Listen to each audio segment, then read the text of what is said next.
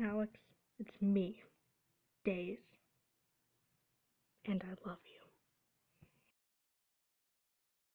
Bye bye.